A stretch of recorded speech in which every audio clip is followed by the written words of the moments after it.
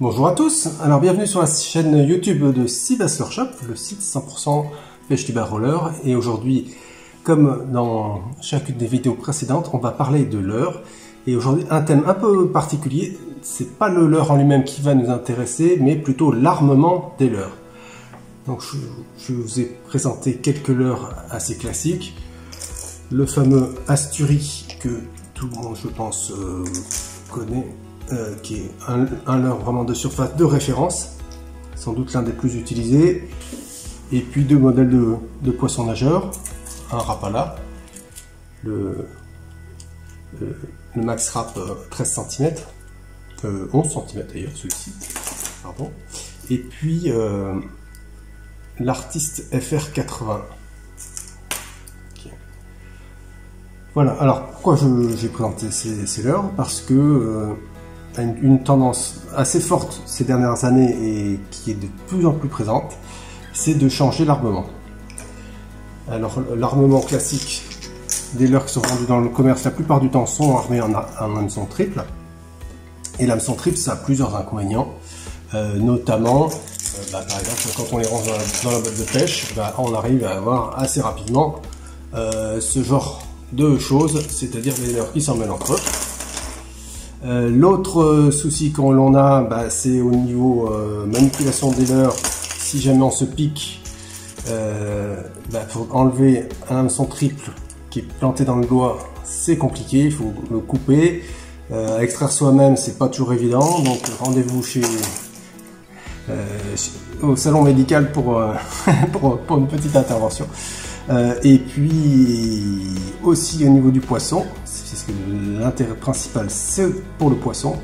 Euh, un poisson qui est piqué avec un hameçon triple, euh, parfois il est piqué plusieurs fois. Euh, on peut avoir des fois des piqûres dans l'œil, on peut avoir des hameçons qui sont vraiment, quand le poisson a vraiment gamé le leurre, des hameçons triples qui est difficile à retirer à l'intérieur de la bouche avec des risques de saignement. Bref, on, abîme quand même le poisson, ce qui peut être gênant évidemment pour le, pour le relâcher. Euh, bon, les poissons, effectivement, qui sont amenés à être consommés, euh, ça pose pas de problème. Enfin, dans tous les cas de figure, il y a quand même une partie des poissons, au moins, voire euh, tout selon la, la pratique du, du no-kill, de pratique de de chacun. Qui, il y, a, quand même un certain nombre de poissons qui ont, vocation à être relâchés, donc autant les relâcher dans les meilleures conditions possibles. Donc la solution à ça, vous, vous voyez là où je veux en venir, c'est l'hameçon simple. Alors l'hameçon simple, euh, c'est quelque chose bon, qui n'est pas nouveau, qui est, connu. Euh, il y a différents modèles qui existent sur le marché. Moi j'aime bien par exemple celui-ci, le, le, VMC 72 euh, 37. Chez, chez Decoy, il y a aussi le Single 27 qui est, qui est, que je trouve intéressant. Mais il y en a d'autres dans d'autres marques. Hein. Alors ce dont je veux parler aujourd'hui, c'est même autre chose qu'un simple hameçon simple. C'est quelque chose de particulier que j'ai fait réaliser.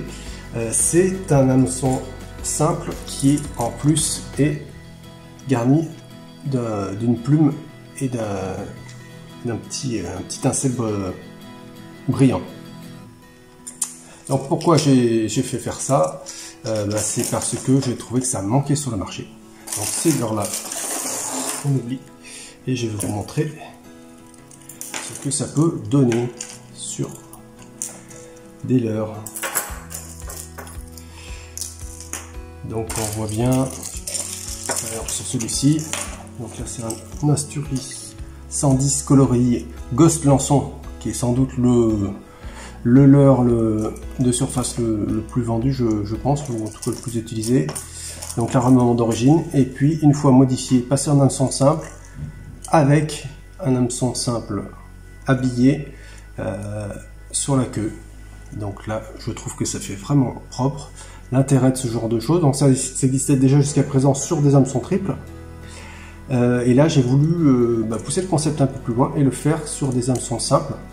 Donc l'intérêt de ce genre de choses, c'est qu'on va avoir euh, un mouvement dans l'eau supplémentaire par rapport aux signaux classiques du, leurre, c'est-à-dire qu'on va avoir un petit mouvement de la plume, un petit signal visuel par la plume et puis par le, reste de l'habillage, euh, et donc un, mouvement supplémentaire à la fois en, animation, donc ça fait une petite ondulation sur l'arrière sur du leurre en plus, et, et aussi au niveau des poses.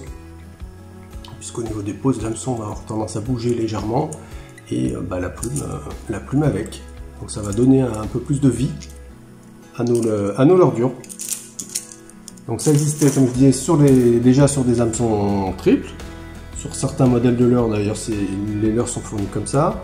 Et puis, euh, et puis sinon, c'était, ça, existait aussi, aussi, vendu séparément. Donc là, voici quelque chose d'un peu différent qui intéressera, je pense, les gens qui s'intéressent déjà au montage en hameçon, en hameçon simple. Alors sur un Asturie 110 avec l'armement comme ça sur la, sur la queue, ça c'est vraiment le, le, grand classique pour donner vie comme j'ai expliqué tout à l'heure. Même chose sur un, sur un poisson nageur.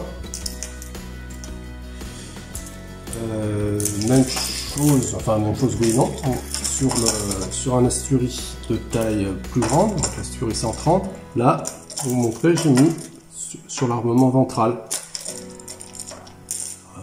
Comme ça. Donc au niveau positionnement des hameçons simples, on me pose souvent la question, le, beaucoup de gens ont expérimenté différentes possibilités, mais ce qui ressort quand même comme étant la solution la plus efficace, la plus intéressante, c'est de monter comme ça, c'est-à-dire un hameçon euh, ventral avec la pointe vers le, vers le bas et celui qui, qui est au bout avec la pointe vers le haut. Pour que quand le poisson se saisit, il ait tendance à se piquer. Et ici, quand l'hameçon a tendance à se positionner comme ça, donc c'est un poisson qui vient, qui va attaquer ou, s'approcher du leurre à ce moment-là, la pointe reste, reste bien agressive. Donc euh, oui, en revenant à ce montage là sur le ventre, bah là ça peut donner un signal un petit peu différent. On va donner toujours de la vie, donc là en animation l'hameçon va être assez proche du corps. Euh, mais c'est pas grave, ça va donner un, petit plus, un peu de vie, des, des, mouvements supplémentaires. Donc pourquoi pas? Pourquoi pas comme ça? Pourquoi pas aussi les deux hein, tout, est possible. Sur un... Aussi sur un PowerTel de chez Fish. Donc ça, pour rappel, c'est un, un très très dense qui se lance hyper loin. Donc celui-ci, par exemple, pèse 35 euh, grammes. Pour sa petite taille, c'est beaucoup. Euh, c'est pour pêcher notamment sur les chasses en bateau ou euh, depuis le bord si on veut vraiment gagner en distance en plage ou même sur une pointe rocheuse si on veut taper le plus loin possible. Euh, donc avec, sa particularité qui a son, euh, son paddle euh, en matière plastique sur l'arrière. Et c'est lui qui va mettre les vibrations. Donc là l'armement d'origine c'est un hameçon simple et donc là bah, j'ai remplacé par un hameçon simple habillé. Donc là aussi même effet, on aura un petit surplus de, vie sur, sur ce leurre qui peut faire un, petit plus. autre contexte sur un, sur un Max Rap 13, je positionne bien comme ça qu'on voit que les hameçons sont, sont dans le bon sens. Sur Max Rap 13, donc là, l'arrangement d'origine, il y a trois hameçons triples. Donc là, j'ai remplacé par trois hameçons simples. Alors, euh, au niveau de la taille des hameçons, c'est toujours un petit peu compliqué de s'y retrouver. Donc sur des fiches produits de, du site Seabaster Shop, les fiches produits des hameçons, j'ai indiqué un tableau de correspondance pour les principaux euh, leurres. Ça, permet déjà de, euh, s'y retrouver. Euh, sachant qu'il y a plusieurs possibilités. Donc là j'ai mis des détails assez classiques. on peut très bien glisser d'une taille au-dessus si, si, on le souhaite, selon ce qu'on cherche un environnement particulièrement agressif ou pas. Donc par exemple, euh, donc, là, on est sur les armements que je, que conseille en standard. par exemple, là, c'est de la 1.0 sur l'Asturie 110. Là, c'est du 2.0 sur l'Asturie 130. Alors, la taille 1.0, 2.0, euh, selon les marques euh, et selon les séries d'hameçons, ça peut varier.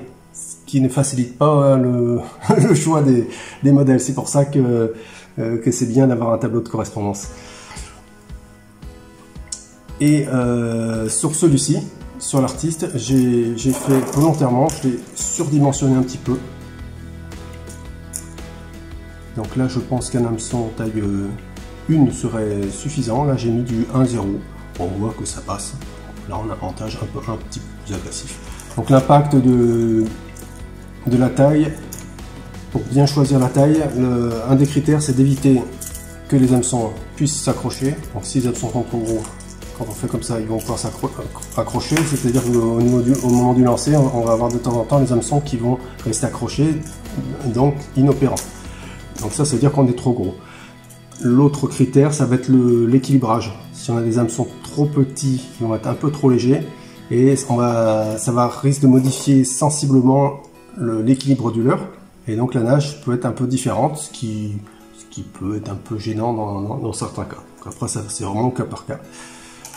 Euh, pour contrebalancer ça, du coup, bah, on peut jouer sur la taille, donc augmenter légèrement la taille de l'hameçon simple, ça donne un peu plus de poids, et euh, on peut se rapprocher du, du poids initial. Donc pour, euh, pour, vérifier ça, si on veut vraiment être pointu, on peut très bien peser les hameçons euh, d'origine, peser l'hameçon simple que l'on envisage d'installer et, voir si on est en cohérence ou pas. Avec un petit détail là que, que j'ai pas présenté ici, mais je vous l'explique quand même. Si on est trop léger, on, a une petite astuce qui consiste à accrocher un petit fil de d'étain ou de plomb, l'enrouler autour de, la hampe de l'hameçon pour rajouter un, petit lest de quelques grammes.